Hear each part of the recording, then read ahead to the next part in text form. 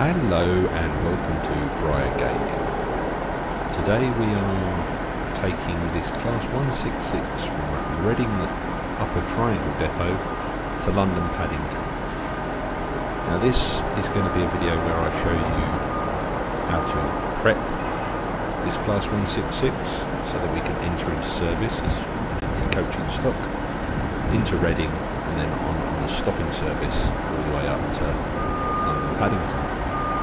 Now, some of you may know, or some of you may not know, that I am actually a train driver in real life. Now, I don't drive passenger trains, but I drive freight trains. So, what I do, driving style may be slightly different, but I will try and do as much as I possibly can how I would do it in real life. Um, normally we use something called risk-triggered commentary, going towards certain certain aspects of signalling. Um, so if you do hear me suddenly randomly just shout out that we're going towards restrictive aspects, that's because that's what I'm trained to do in real life. Now, what we have here is a Class 166 uh, three-car DMU brakeless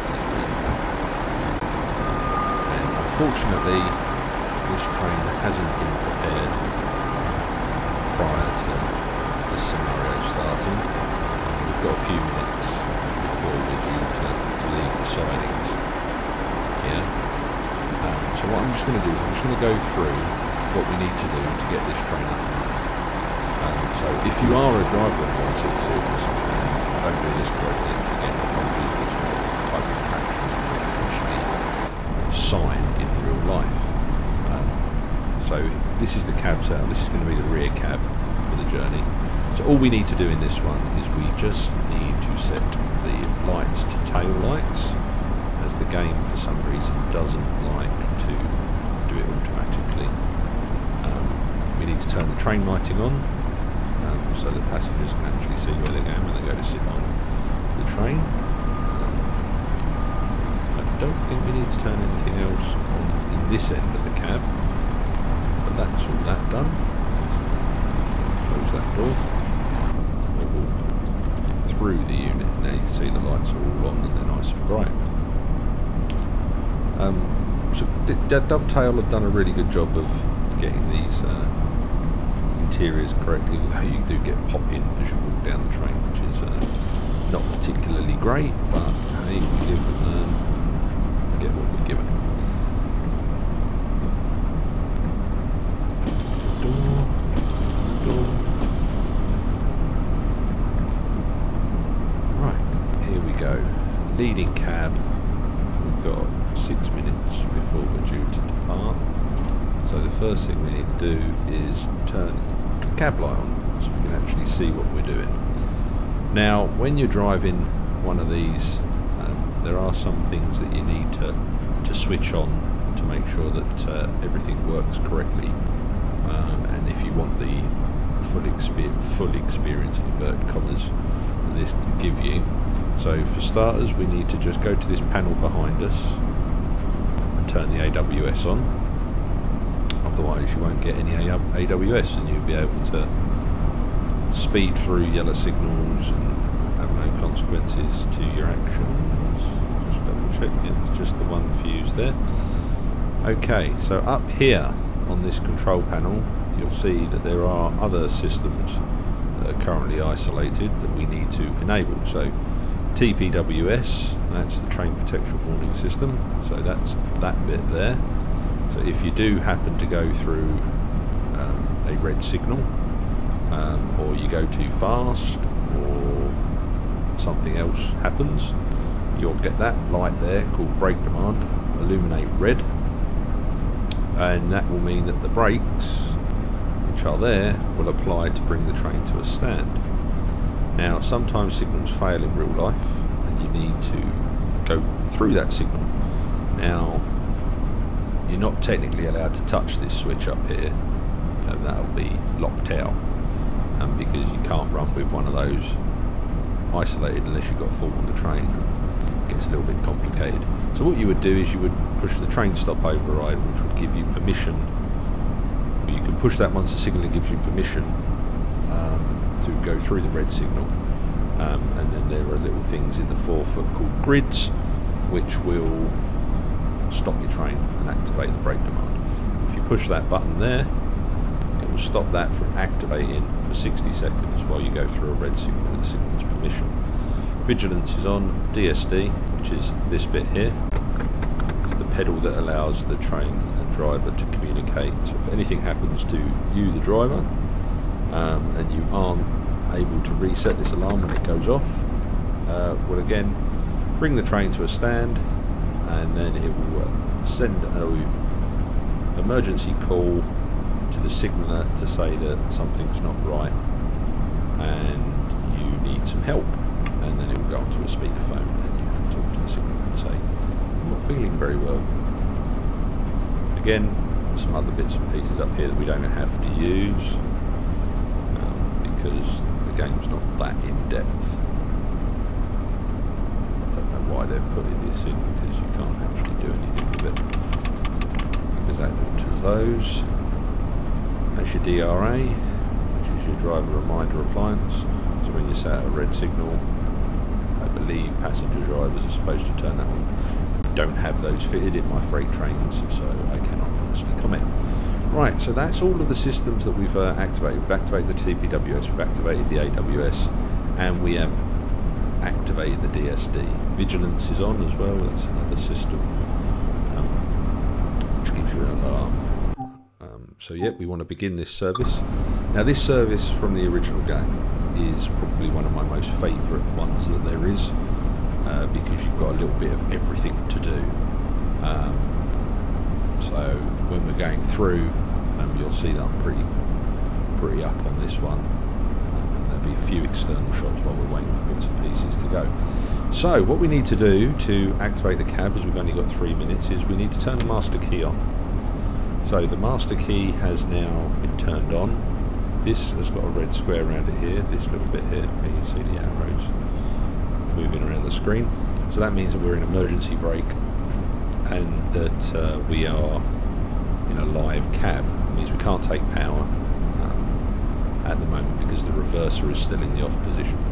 So what we need to do is we need to move that to forward. Now that's going, that alarm, excuse me, indicates that uh, you've made the cab live, so you need to acknowledge it normally with the AWS button just there. Um, and that means the train is now in the forward gear, so that we can go forward. So what we're going to do is we're just going to use the right shoulder button on the Xbox pad, I believe it's the same for the PlayStation, just to bring the brakes off a little bit. Oh, sorry, that's the wrong way around, it's the right trigger to remove the brakes. Now normally you'd go for a brake test and everything like that, but this is a virtual game, so I'm not going to be doing that. And we are now ready to begin our journey towards Reading. And the system says we can go. Before we do that, we have to set the what we call the road. Because as you can see, the purple line there means that the points in the front of us are set against us, so if we run through those, it's a lot of money, and probably a derailment, which we don't want. So we just click on this bit here, and as you can see, that's changed the road to where we're going. Right, so we're now being told that we've got to get going, so all of the other roads are set for us out of that side into that yellow signal now, which you can see in the distance there. So we're just going to take a little bit of power. But I suppose better put some headlights on. That's key to seeing where you're going, I suppose. And we'll turn the cab light off. There's nobody likes driving with the cab light Not that the headlights make any difference, because that's one thing that needs fixing in the preserved collection into Simulator 2. So we're now heading out of these sidings speed limit in these sidings is 15 miles an hour. But you don't really want to go that fast uh, in a yard siding or depot. Just take a leisurely, leisurely trip out of the yard.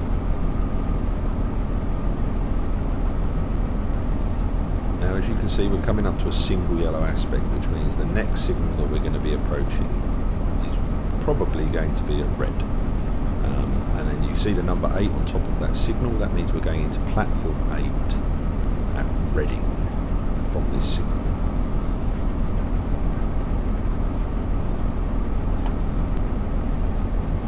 So as you can see up in the top right hand corner, game is telling us that the next signal in 0.6 miles is at red. So if you see the if you if you learn about the signalling that's one of the major aspects of being a train driver is understanding your signals. After every single yellow you should be expecting a red. Um, and as a freight driver, um, the rule of thumb is you do 30 mile an hour at the single red, a single yellow, and you're aiming for 10 mile an hour at the magnet the approach to the red. Now, when I mean the magnet, in between the rails is something we call the forefoot. And in the forefoot, there are bits of equipment that uh, aid and protect the trains running around us on the network and everything like that. So that yellow thing in the forefoot then was a magnet, but that's going in the opposite direction. There's one just there on the left-hand side.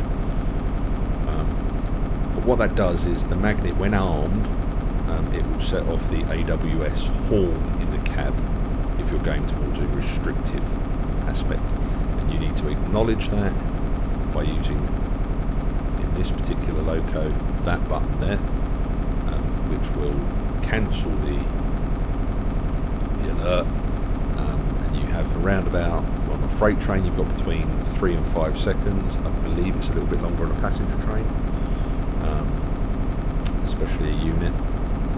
But again, there you go. There's the AWS horn. Oh no, that's not the AWS. That's the DSD in this one. Um, but we haven't done anything for 30 seconds because we're just rolling into the platform. Um, but here comes the magnet on the floor for the signal at the end of the platform. And then you've got your grid and another AWS.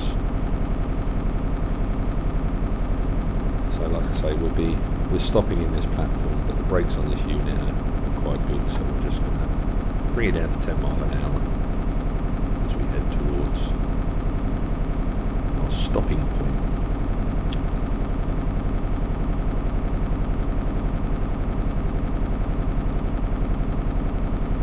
So here we go, here's a magnet and some grids.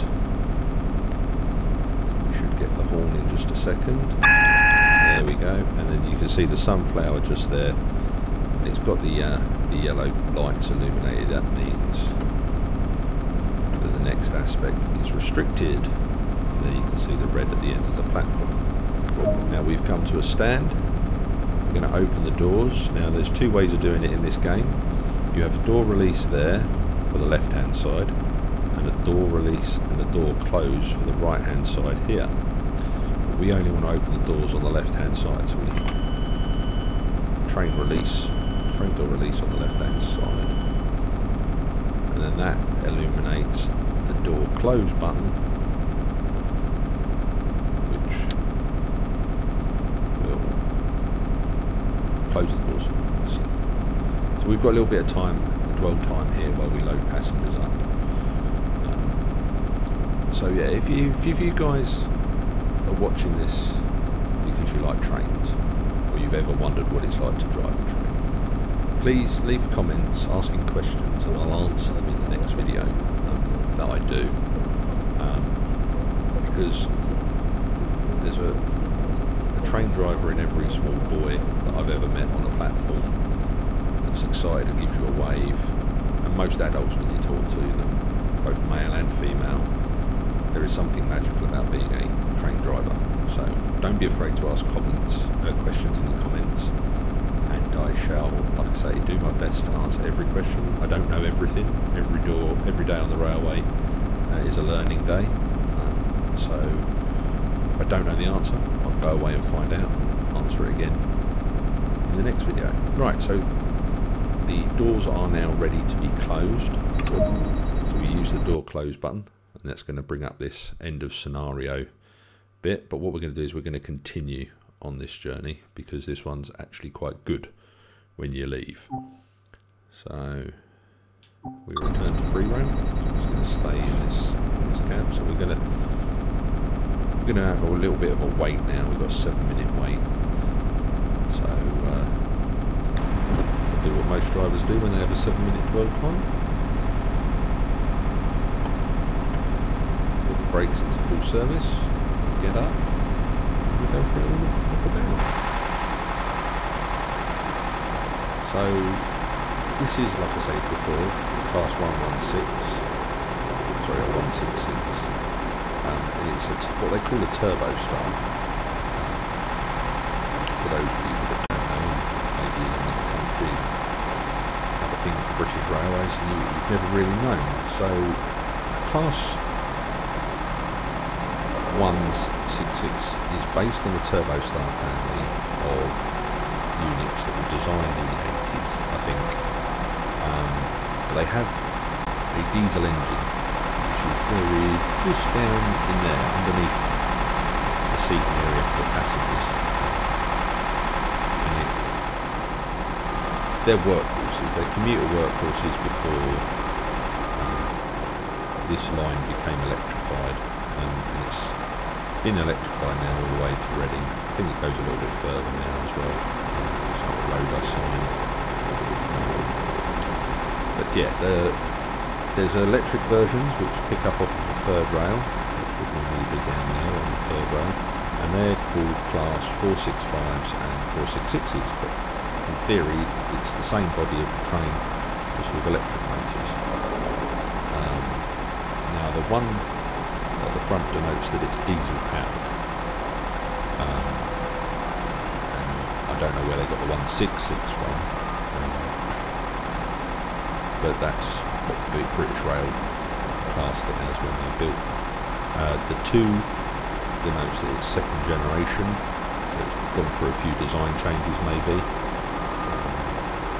Uh, maybe improved brakes, improved engine, um, and they they renumbered it. They've numbered it with a two. Now the first generation would have been 001. You'd have had 101 and 201 each first number there generally means that there's been something that's changed um, within the design configuration or something like that. And uh, yeah, they they're very good trains, depending on how often you use them. Um, very reliable. This one's obviously had new lights fitted, LED standard. So you've got your, your night light on here, which will be on. This one's really bright and that's white LED on that marker right there. And then if you were in daylight running, that one on the left, right hand side would be really bright. That would be out, and that one would be out. LED plus would be illuminated there. So yes, that's class 165. 166. There is 165 versions as well. Um, which operate on tunes. Now, Reading Station underwent a lot of redevelopment recently, and this is the newest version of it. Um, very nice, very clean, very easy to get around. Here you can see the route map. Um, I think we're pretty much calling up all of the stations on the way today. On our way up to Paddington.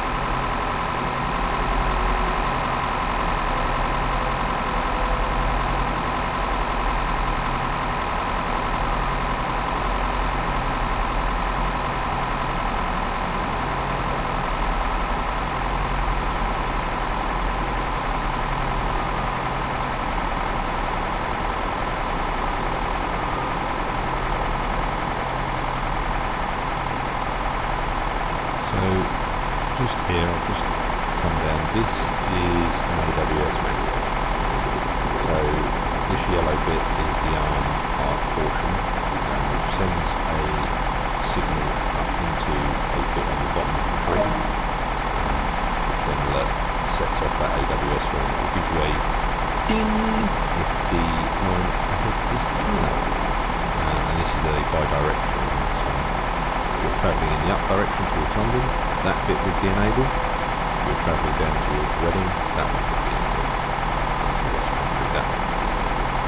Anyway, we've got to stop at Twyford now, so we are route clear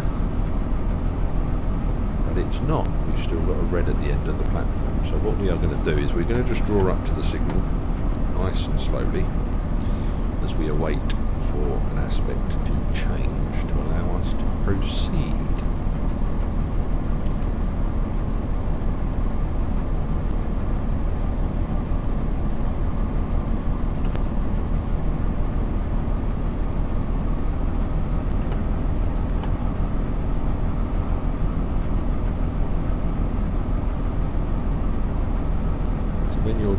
to a red signal, you want to be sort of stopping as a freight driver a loco length off of the signal so that you can clearly see the the signal ahead of you uh, on the left hand side. Most signals are positioned on the left hand side of the running line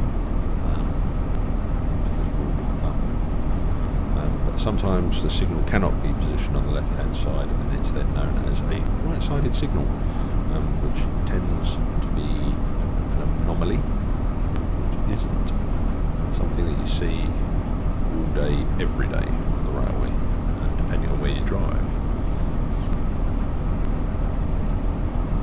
now, as you can see there's a service coming inbound. It's crossing the, across our line. So we can't actually go anywhere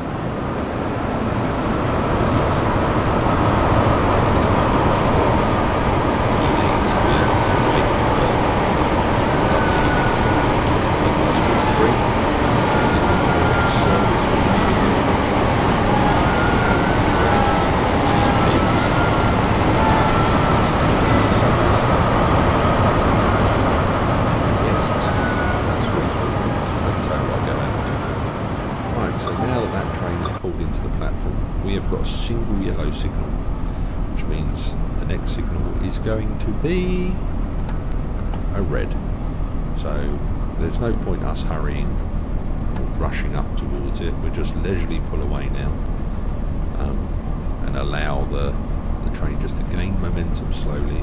Have passengers in, so we don't want them to spill their teas and their coffees and their soya bean lattes.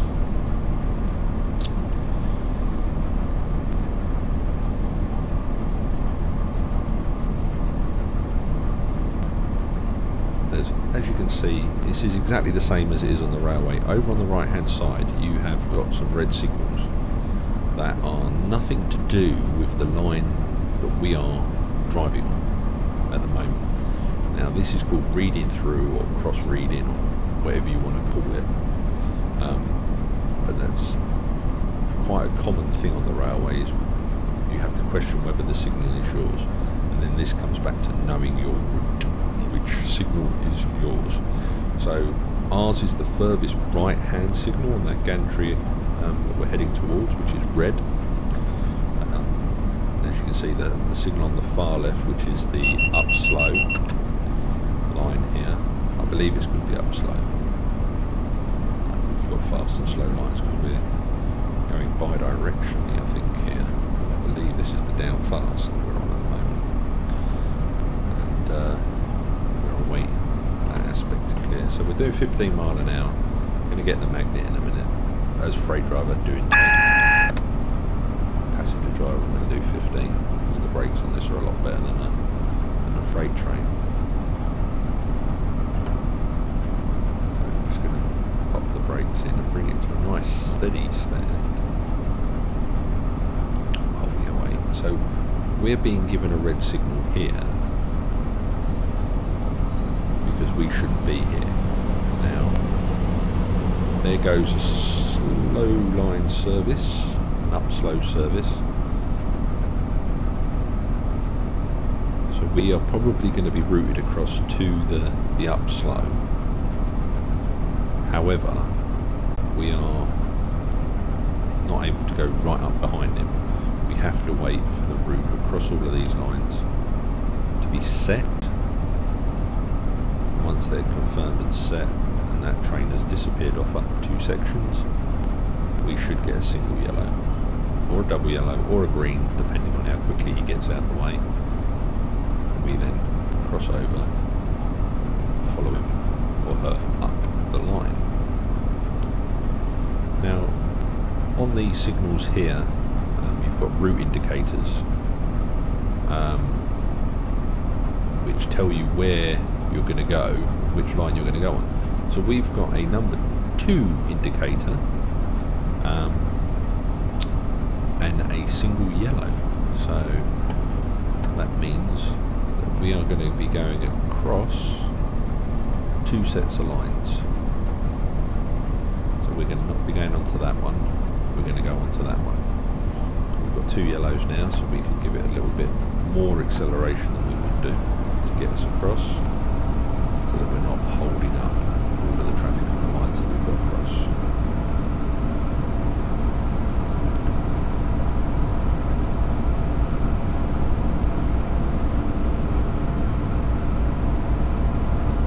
Now, the route indicators are part of your route knowledge, so you knowing what signal, what that route indicator would be to a driver that drives this route all day, every day, would mean that the driver knows whereabouts they are going to be going on these four lines. Now, I'd imagine, I know where we're going, uh, route indicator 2 on that signal means we go across this line and we go straight across all the way to the down, the up slow. Whereas if you've got a 1, you go on this road, which is the up fast. We're going all the way across to the, the up slow. So we've now got a green signal in front of us. Do 40 mile an hour across these points, this junction. And now we can do 90 as we're a multiple unit. So we can accelerate up to 90 if we could or can, depending on everything that goes on in the cab. Train weight, rail condition, weather, wind. So we're going to Twyford. Four miles away. There or thereabouts.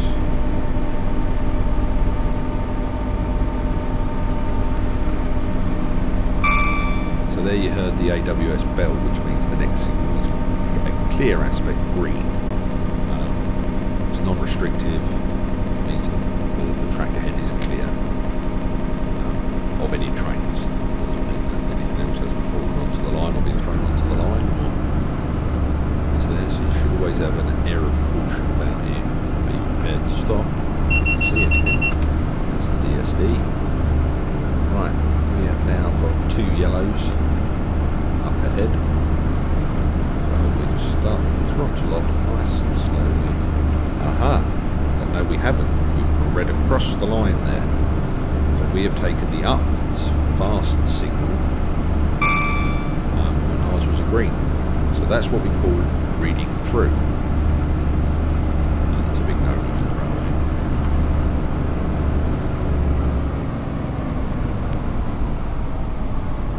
Whoopsie daisy.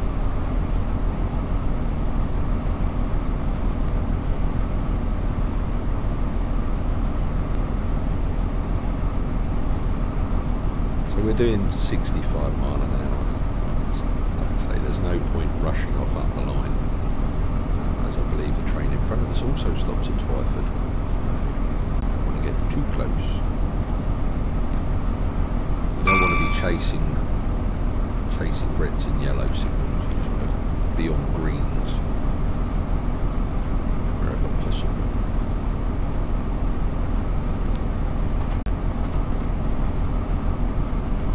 As the game is now telling us we're coming up towards restrictive aspects, just apply a little bit of brake. Be doing 50 mile an hour at the two yellows. AWS.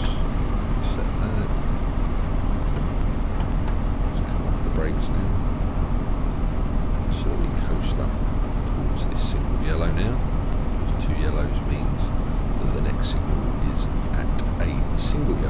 give you a little bit of warning that you're going to be brought to a stop.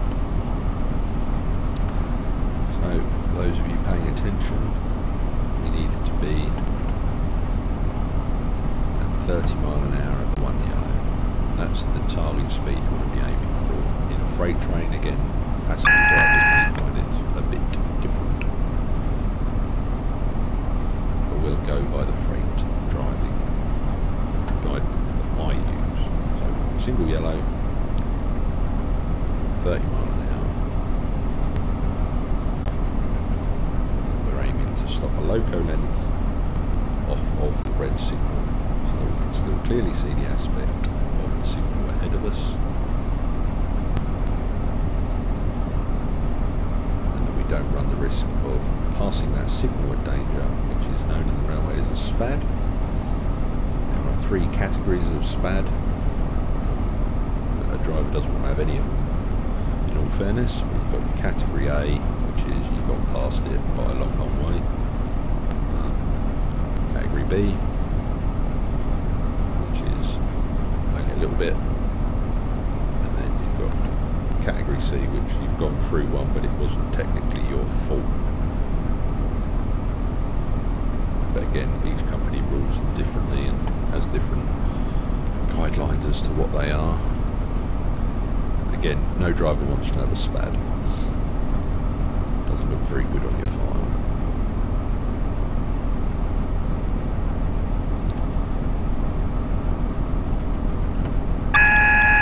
So we were going a little bit faster than the 15 mile an hour. Like I say, the brakes on these units are a lot better than my freight trains. As that HST goes past us. So we're now coming to a stand at this red.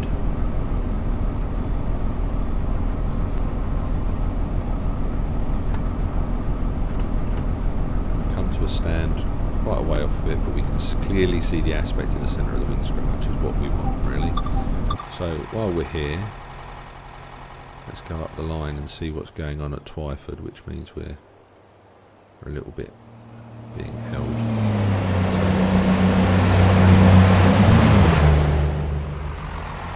Heading off, waiting for him to depart, or her. But they've got the red signal ahead of them, so they can't go anywhere.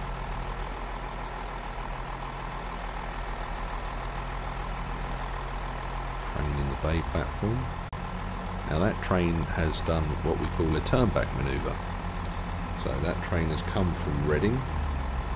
The driver has stopped, got out, changed ends, and is now taking that train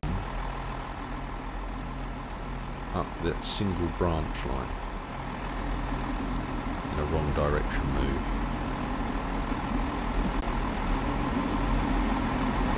Once that unit is out of the way, we will then be given the road again. We can proceed into Twyford.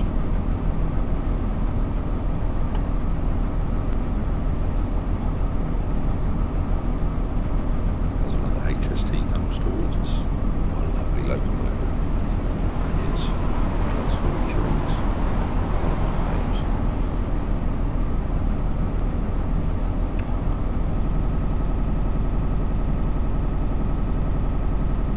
Right, it's gone straight to green, um, which means that we have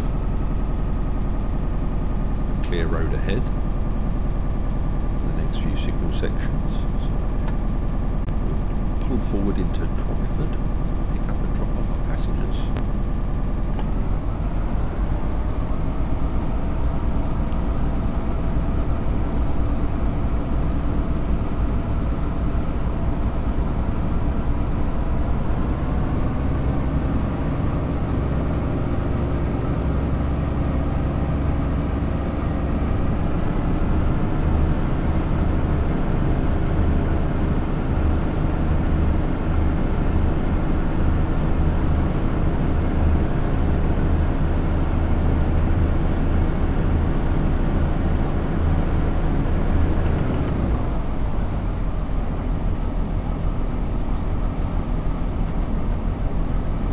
So again, from playing this game for a considerable amount of time when it first came out before I was a train driver, The aim was to be at 30 mile an hour at the ramp to the platform to be able to stop for your stopping point.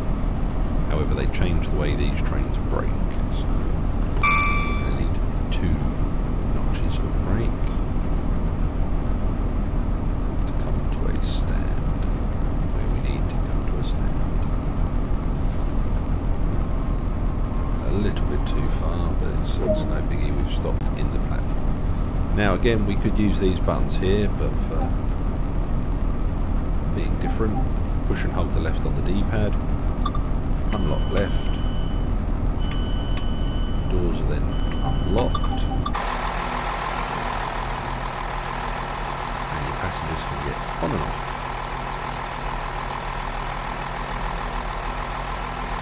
Bit quiet for a rush hour train.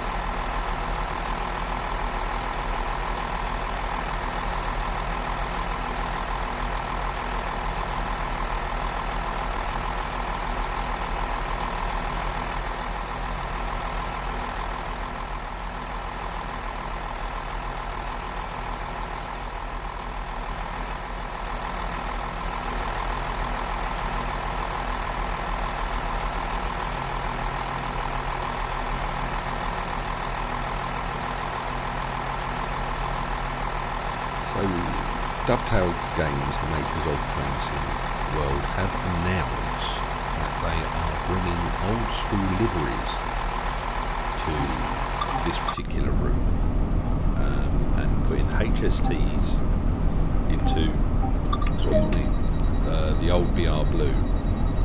And I think they're going to put these in the old Thames trains livery, um, which is white, uh, which will be quite nice. Blast from the past. And that should hopefully be out sort of around March time, I believe, if not sooner. Be something to look forward to. Blue and grey HSTs. Right, anyway, so that's the passengers disembarked and embarked at Twyford. So we're now going to head off to Maidenhead, which is, as you can see from the screen, 6.7 miles away. Now that means we can't really dilly-dally, so we are going to throttle this baby up.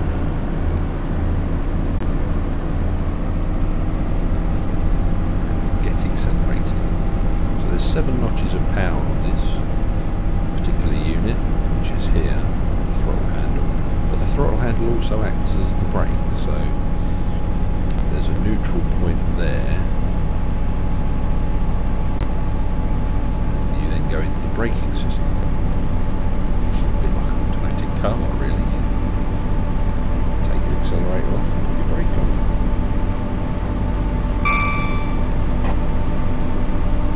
Now there is a gear change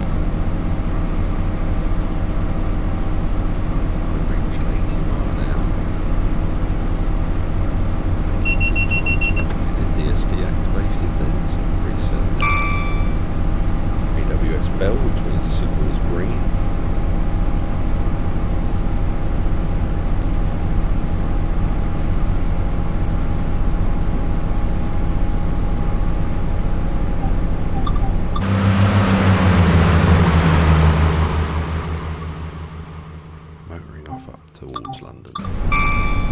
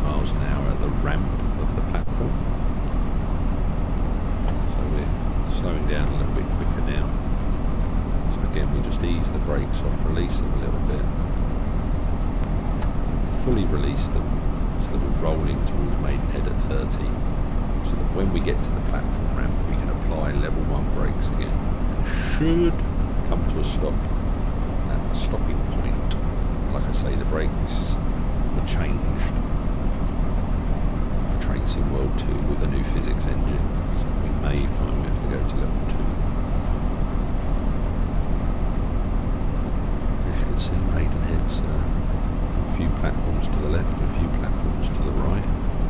Again, some very good services on this line for a shuttle service. If you look back through previous videos on the old Xbox One X, um, there is a Maidenhead shuttle scenario where I do it before. So, just coming to a stand now. I've got to go to level 2 brakes, because like I say, I'm not particularly good in level 1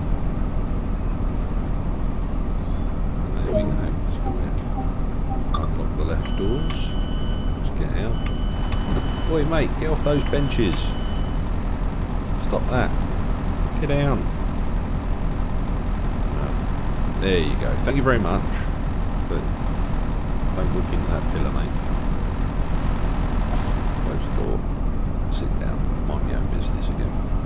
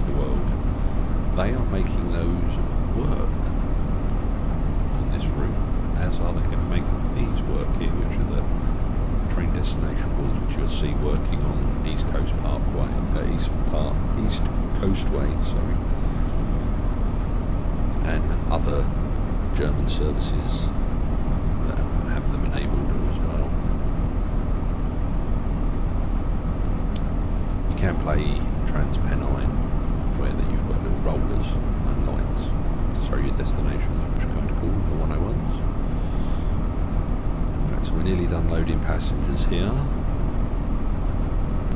Tap line. Right, lock the doors.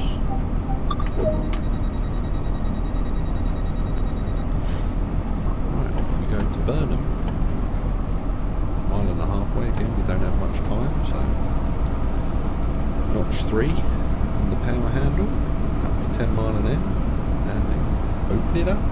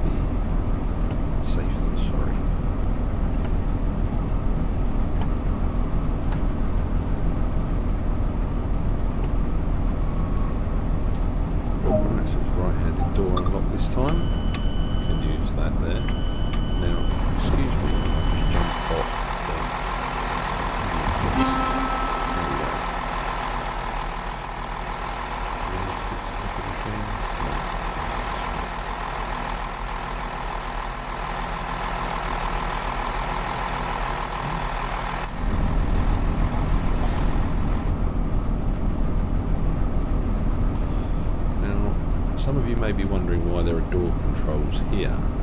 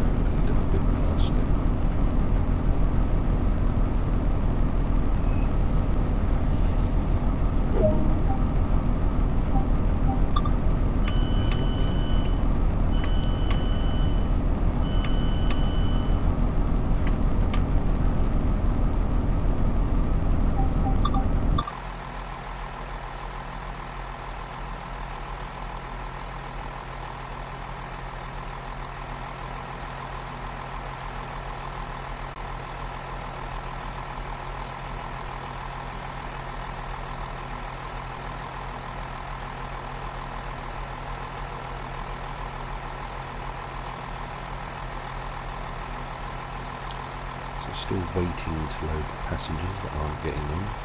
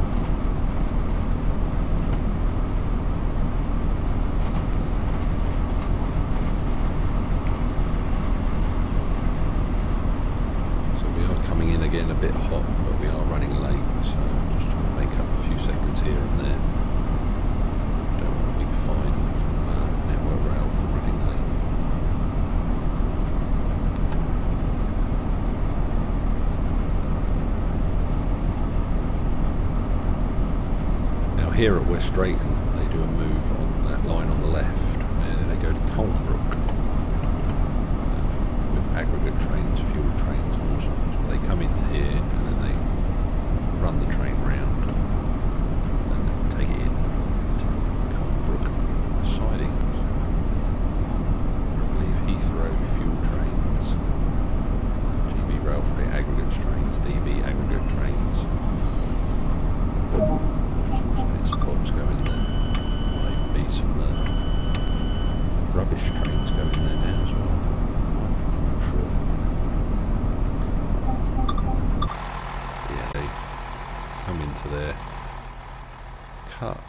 Echo off.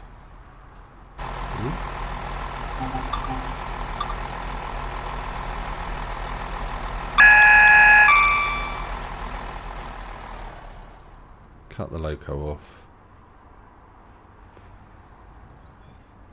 Run out into that head shunt.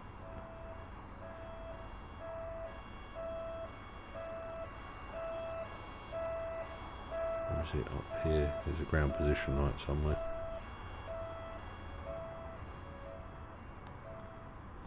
In real life.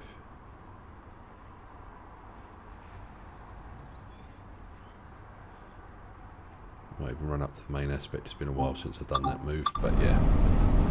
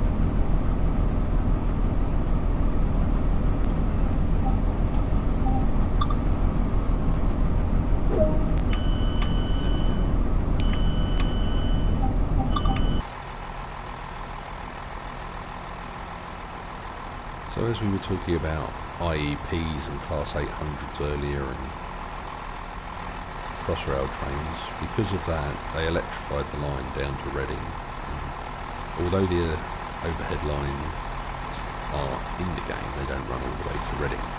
Some of it has cables and the wires installed, other parts don't, they just have the overhead line stanchions, so these things here.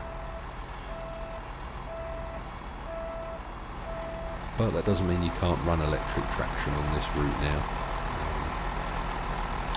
Um, with the aid of on off the rails mode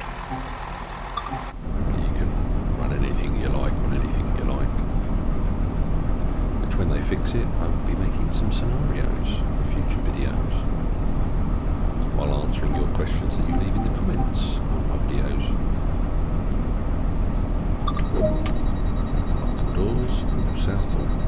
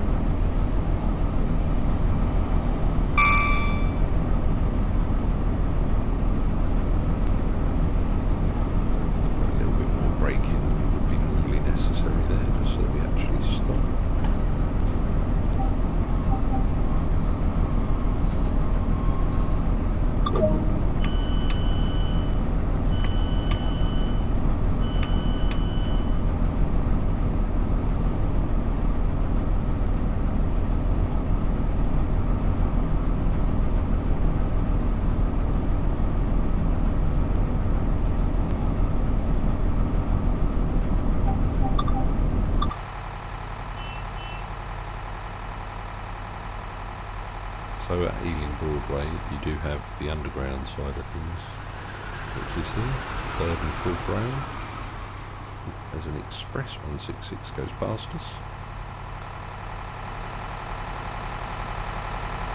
So yeah you've got a fourth rail in the middle and a third rail that sits outside of the, the two main running lines. Both are 750 volts. DC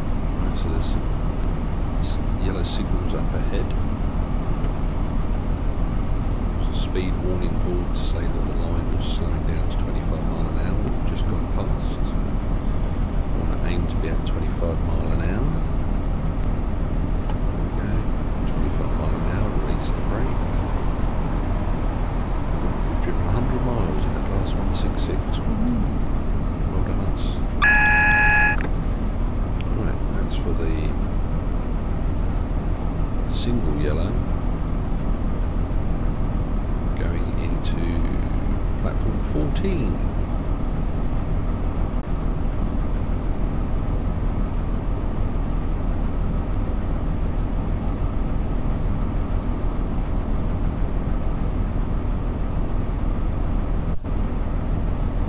So, thank you very much, everybody, for, for joining me on this uh, journey from Reading to Paddington.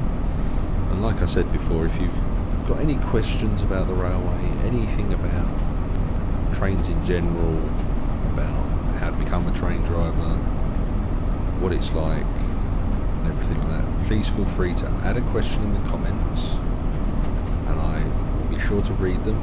If I reply, I reply on the comment, but if you don't see a reply, that means I'm actually going to use your question in the next stream. So please tune in. Uh, I'm aiming for about two or three videos a week, shift permitting.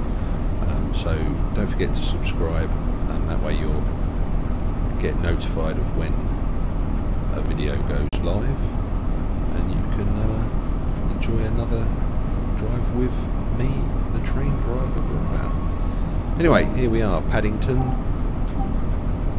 Just do the tail lights first. Unlock the right. So what we've done is we changed the tail lights there. So what we've got to do now is we go full service, engine off, key out. Which means we've now neutralised this cab. We wouldn't do this in real life, but for this we'll take the AWS fuse out, leave it as we found it.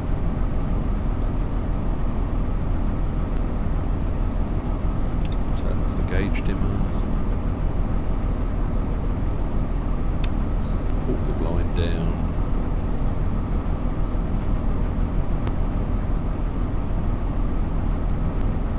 Just wait for the door to be closed.